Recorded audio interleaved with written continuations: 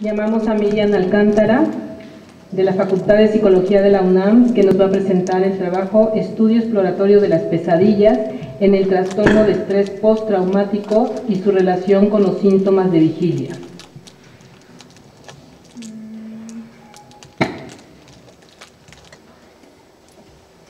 Buenas tardes.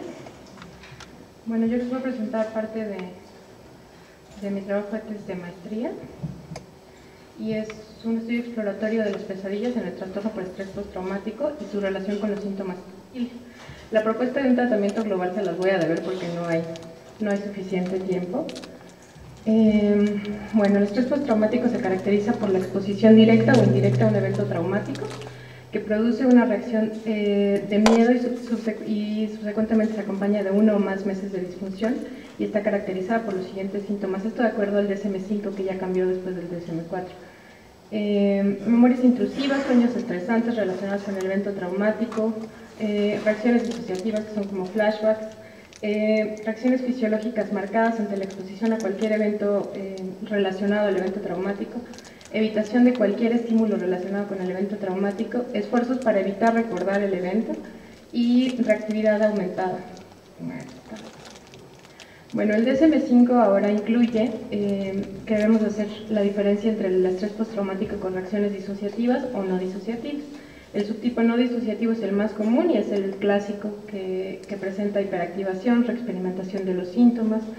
Eh, y el subtipo disociativo es caracterizado por una sobremodulación del afecto con un aplanamiento emocional y una sensación de alienación e incapacidad para sentir emociones placenteras también.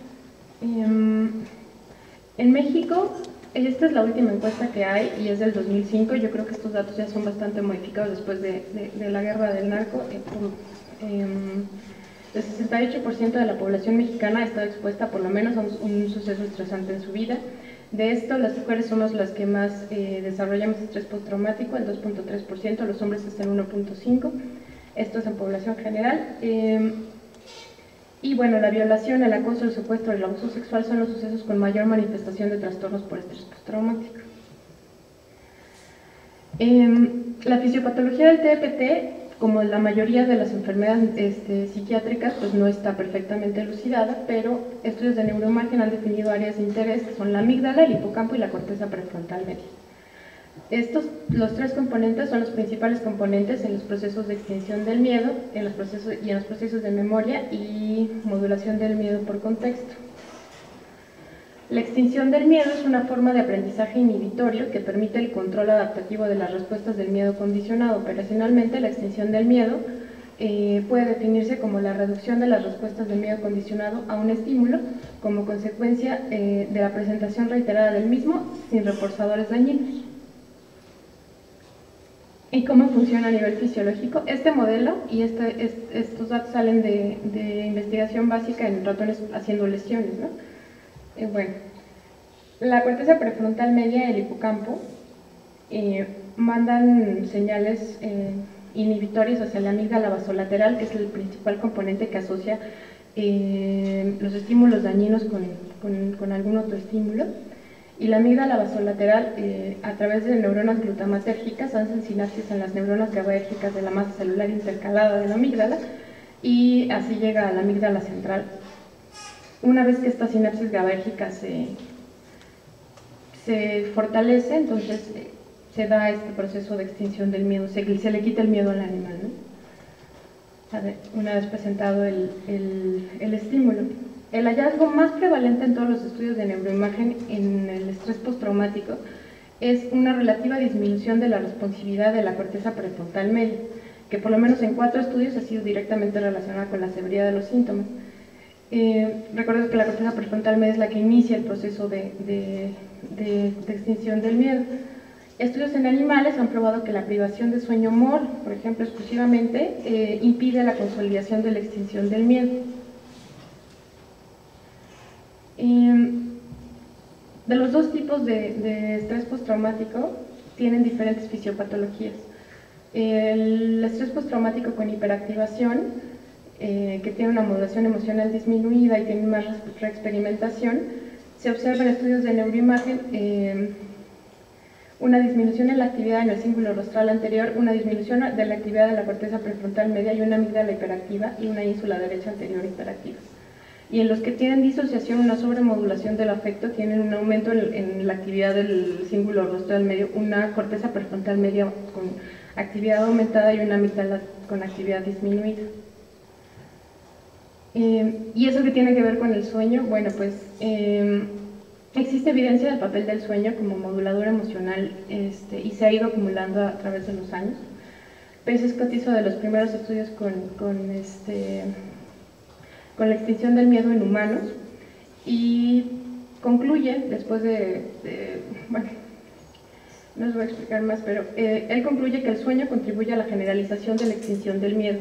Es decir, eh, y bueno, da una recomendación para los terapeutas cognitivos conductuales que una vez que se hace un tratamiento o una terapia, bueno, eh, la calidad del sueño el día que se da la terapia pues es básica para que la terapia surja efecto. Nishida en el 2009 encontró que el grado de evocación de las, de las memorias negativas se correlaciona significativamente con la cantidad de humor y el poder teta del hemisferio derecho.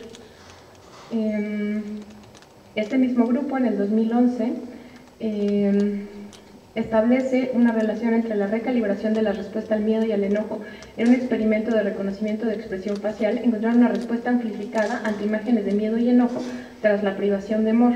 Ellos hicieron un modelo de siestas, privaron primero a los sujetos durante toda la noche y después eh, vieron que las personas que eh, durante la siesta alcanzaban amor tenían una, mm, una reacción mucho menor a las, a las caras de miedo y de enojo que las personas que que no habían logrado alcanzar MOR.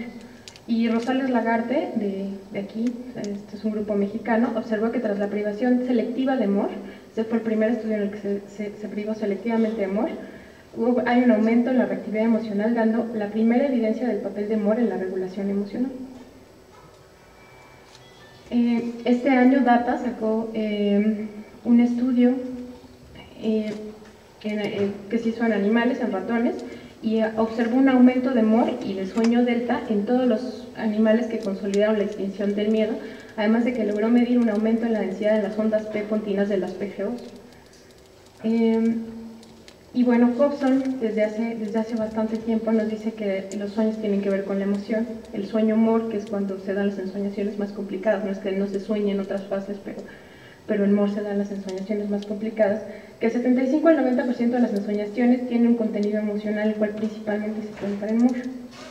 Eh, las pesadillas en el trastorno de estrés postraumático son el síntoma más consistente, este, bueno, más frecuentemente encontrado en los, en los, cuando uno evalúa a alguien con estrés postraumático.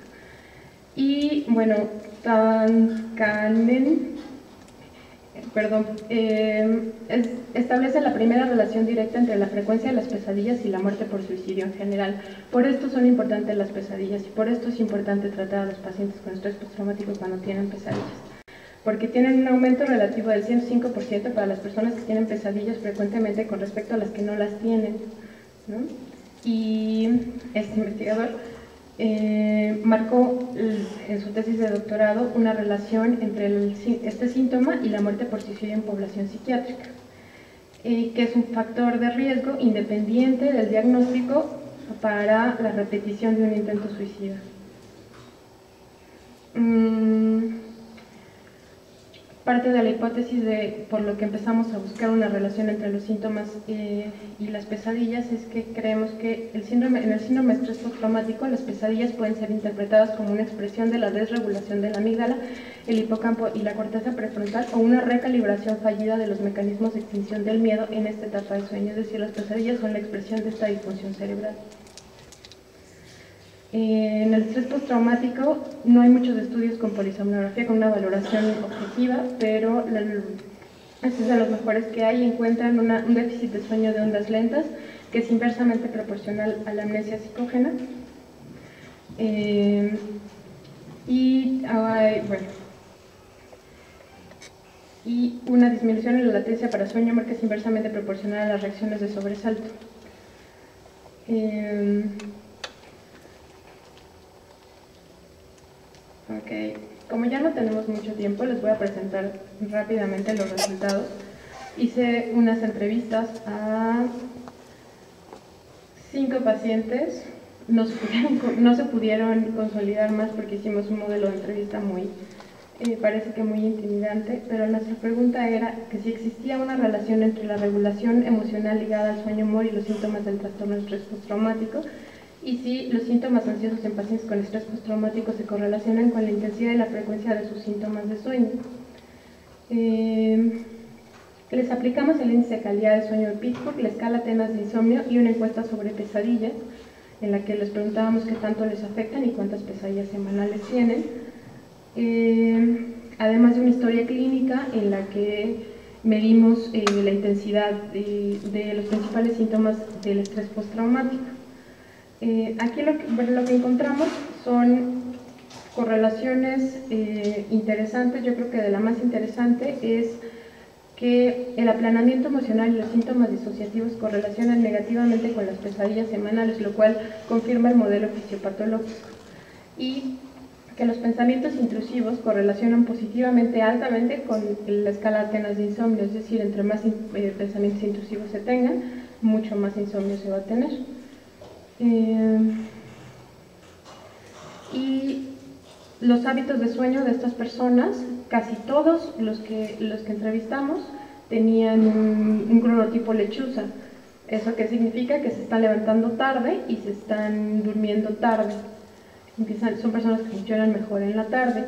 Em, nuestros, nuestros resultados lo que muestran son correlaciones positivas entre la intensidad de los síntomas propios del TPT y la baja calidad del dormir.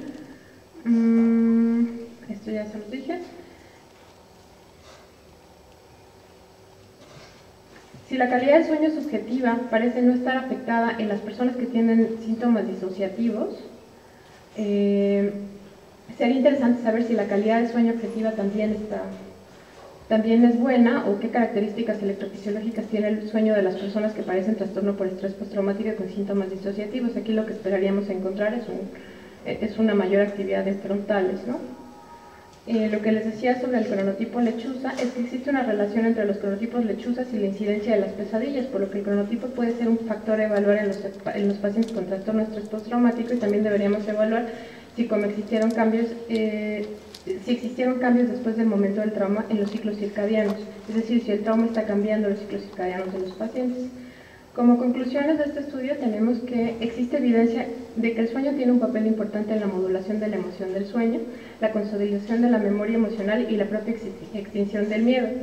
Y la atención a la calidad del sueño es de vital importancia para lograr un tratamiento efectivo y lograr la normalización de la función cerebral tanto en vigilia como en sueño.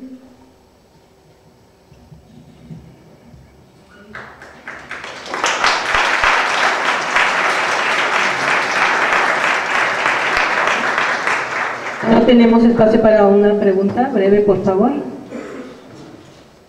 ¿Alguien quiere hacer un comentario?